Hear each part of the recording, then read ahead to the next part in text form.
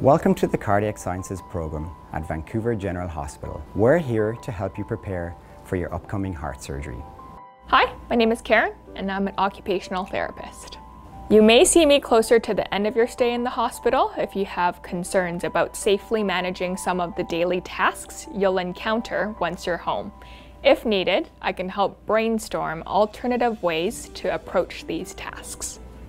For example, if you had an incision in your breastbone, you'll need to limit your motion while it heals. I can show you alternative ways of getting dressed that can help avoid pain in the sternal area. It may be recommended that you keep your hands on your knees while standing up from a seated position. If it is too difficult to manage standing from lower heights, like standing from a low toilet, I can recommend medical equipment like a raised toilet seat and provide you with resources on where to access this equipment. I can also review energy conservation strategies such as the four Ps planning, pacing, prioritizing, and positioning. Because after heart surgery, you might be surprised at how tired you feel. This is normal, and your energy level will gradually improve over a few weeks. It's important to manage your energy while you heal.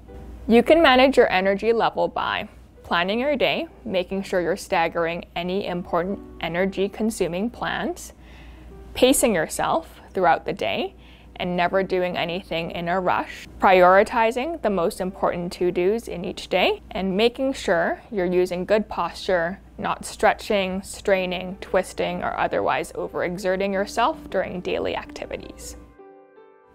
Hi, my name is Brittany, and I'm a patient care coordinator with the Cardiac Sciences program at Vancouver General Hospital.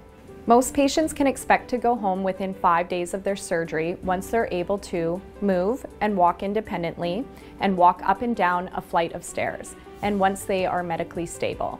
But keep in mind that it will take about three months to fully recover from surgery. Going home from the hospital may feel a bit scary at first. This is normal.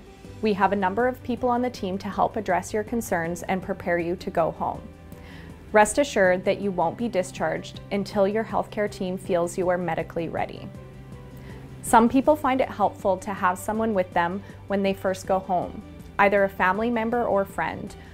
While having someone there isn't medically necessary, it may help you to feel better during your initial transition home. After surgery, there may be days when you feel sad or anxious. This is normal and will gradually improve.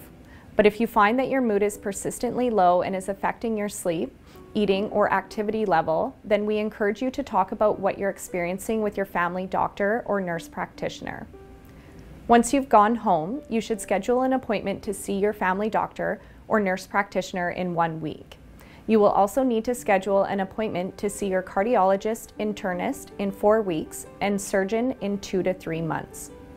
Depending on the type of surgery you had, you may not be able to drive for four to six weeks.